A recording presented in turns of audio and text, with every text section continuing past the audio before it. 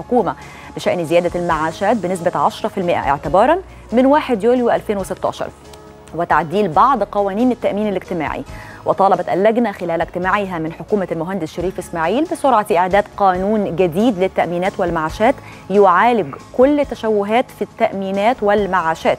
وشهدت اللجنة مطالبة محمد وهب الله وكيل لجنة القوى العاملة بمجلس النواب حكومة المهندس شريف إسماعيل بسرعة إعداد قانون جديد للتأمينات الاجتماعية قائلا.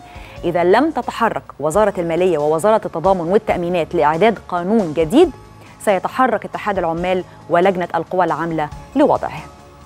معنا على الهاتف سيادة النائب هيثم الحريري. صباح الخير يا سيادة النائب. صباح الخير يا فندم. معلش بما حضرتك معايا بقى أنا هسألك في شقين. هرجع للخبر اللي فات على طول بخصوص قانون الخدمة المدنية وأذكر إنك شرحت لنا هنا في صباح دريم سابقا أسباب اعتراضك على القانون. رأيك إيه يا فندم في الموافقة المبدئية اللي ابداها البرلمان على قانون الخدمة المدنية؟ هل أغلب نقاط الاعتراض أو اللي كانت محل الجدل تم معالجتها؟ بصي حضرتك يعني أنا عايز أعلق في تعليقين على زميلي العزيز خالد شعبان. الجزئية الأولانية النواب المحترمين في مجلس النواب تحرروا في 20 يناير 2015 2016 من كل الضغوط السياسية والحزبية ورفضوا قانون الخدمة المدنية. اللي كان موافق عليه رؤساء الهيئات البرلمانية وزعماء التكتلات تقريبا بنسبة 100% تقريبا يعني. وبالتالي النائب يستطيع في أي لحظة أن يتخذ قراره بنفسه إذا أراد. أما إذا يعني آه انحاز بالحكومة في تعديل انحاز حتى رئيس الجمهورية لما بنادى بالقانون أو تحدث عن القانون فده مش معناه إنه في ضغوط مرت عليه معناه إن هو خد قرار من نفسه إن هو يعني يوافق على حاجة الآخرين بيقولوا يوافق عليه أو بيدعوا للموافقه عليه. فإحنا نستطيع إن إحنا نعيد القرار مرة أخرى ونتمسك بتعديلاتنا بتعديلاتنا لأنه هذه القوانين لا تسنها الحكومة. الحكومة دي بتاعتنا إحنا إحنا اللي جايبينها. إحنا إنها تشتغل صح أو نوافق إنها تشتغل غلط. لكن فكرة الحكومة جابت قانون فإحنا عايزين نوافق عليه. ده تعبير خاطئ. الحكومة بتعرض علينا قانون إحنا نقول آه ولا لأ. إحنا اللي بنمشي الحكومة ونحط سياساتنا دي جزئية. الجزئية الثانية إنه يعني أعتقد إن السواد الأعظم جوه المجلس شعر بمدى استحسان المواطن المصري لقراره في 20 يناير برفض القانون. إحنا مش رافضين قانون الخدمة المدنية في مجمله. إحنا رافضين المواد التي تمس حياة المواطن. المواد التي تمس العدالة الاجتماعية، الأجور، الحقوق المادية الأدبية، لكن اللي بينظم العمل، اللي بيعيد هيكلة الجهاز الوظيفي وده مش موجود أصلا في القانون، اللي بيحاول يقلل من من الترهل اللي موجود جوه القانون، إحنا كل ده معاه. خلافنا معاهم على إن الناس هتنفجر.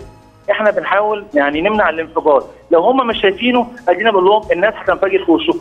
لأنه الانفجار في وشهم مش هيمسنا إحنا بس هيمس البلد كلها. لو هم شايفين وعارفين ومتعمدين إن هم يوصلوا المواطن المصري لحد الانفجار فدي جريمة في حق البلد كلها. طيب أه هسأل بقى حضرتك أو اخدك للخبر الثاني اللي أنا قريته دلوقتي عن أه أه موافقة زيادة المعاشات بنسبة 10% قوى العامله إيه رأيك يا سيادة النائب؟ القرار جاي في وقته النسبة دي كافية مثلا مقارنة بارتفاع الأسعار والتضخم اللي حاصل خليني أعترف اعترف انه قرار رئيس الجمهورية بوضع حد بزيادة الحد الأدنى للمعاشات 5 جنيه هو قرار محمود ولكنه ليس كافي وان هو يحط علاوه خمسة حد أدنى 75 جنيه قرار أيضا محمود وتوجه في السياسة محمود ولكنه أيضا غير كافي. إيه مجموعة الإجراءات اللي بتشوفها سيادة النائب اللي كانت يجب أن تصاحب هذا القرار؟ ما هم دول النقطتين اللي عايز عليهم، اولا مبدأ إن يبقى في حد أدنى ده مبدأ دستوري، لكن ما قالش 500 جنيه، قال المفروض إن هو يكفل حياة كريمة، و500 جنيه لا تكفل الحياة أصلا، لواحد طلع على المعاش وربنا يعافيه إذا كان عنده مرض مزمن عنده زوجته تعبانة عنده بنته مطلقه عندها عيل عنده ابن ما اشتغلش 500 جنيه دي ما تكفيش طفل صغير. أكل وشرب ولبس الجزئية الثانية إن هو حط وضع حد أدنى لقيمة المعاش. دوت بيقلل الفجوة اللي موجودة بين المعاشات. إحنا عندنا معاشات بتوصل فوق ال 5000 جنيه. نخرج من أزمتين الخدمة المدنية والمعاشات إزاي؟ إن سياسة الحكومة الاقتصادية لازم تتغير. الحكومة طول الوقت تيجي قدامنا تشتكي إحنا معناش فلوس. نجيب منين؟ وإحنا بنقول لهم الفلوس موجودة في البلد. بنشتغل بقى لنا 50 سنة وفي ناس لسه عايشة كويس جدا جدا جدا. الناس دي عليها إن هي تسدد جزء من حياتها دي للبلد. عندنا ضرائب تصاعدية كانت أيام مبارك 42% دلوقتي بقت 22.5% بالتأكيد إحنا ظروفنا الاقتصادية ما تحسنتش عشان نخفض عشان نخفض الضريبة.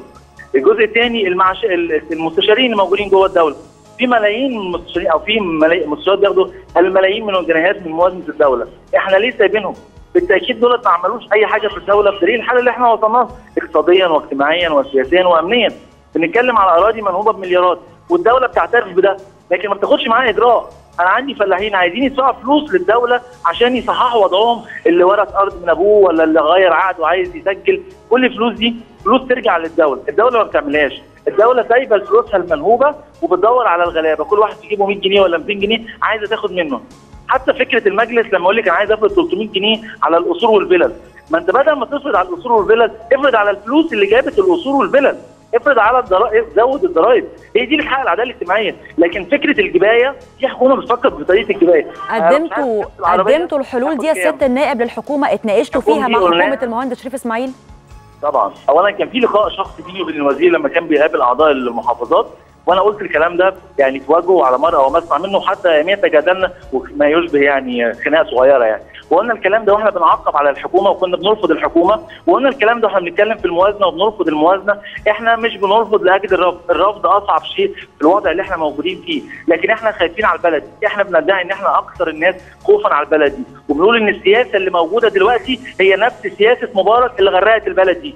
يا إما نفوق كلنا حكومة ورئيس ومجلس يا إما إحنا بنغرق البلد. وإحنا كلنا مسؤولين. أنا مش هتنصل من المسؤولية. بس أنا على الأقل يعني قدام ربنا وقدام الناس بقول اللي يملي عليا ضميري. واللي يطلع البلد دي لقدام. على باقي النواب ان هم يعملوا ده.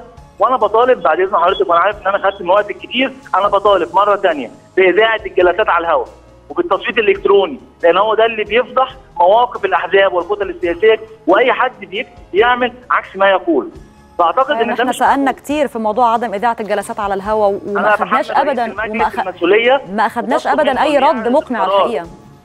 بطلب منه إن هو يعرض القرارين دولت على التصويت الإلكتروني. ساعتها هنعرف مين رافض إذاعة الجلسات ويتحسب قدام المواطنين ومين رافض التصويت الإلكتروني. لكن برضه رفض القرارين دولت يكونوا بالتصويت الإلكتروني. أنا عايز أعرف مين اللي رافض ده؟ الدعم مصر قال إحنا موافقين على اذاعه الجلسات على الهواء. طب ده الاغلبيه. ده لوحده ممكن يمرر القرار دوت يبقى مين بقى اللي رافض؟ هل رئيس المجلس له مصلحه في الرفض عليه انه يتبرأ من هذا الخطأ ويسيب الأمر للنواب. اللي يرفض يرفض قدام الشعب. واللي موافق يبين إن هو موافق. بشكرك جزيل الشكر سيادة النائب هيثم الحريري. الحقيقة إنه يعني الأسوأ من إنك تبقى في أزمة إنك أنت لما تطرح حلول وأفكار للأزمة دي وتناقشها ما تاخدش رد عليها. ده ده الحقيقة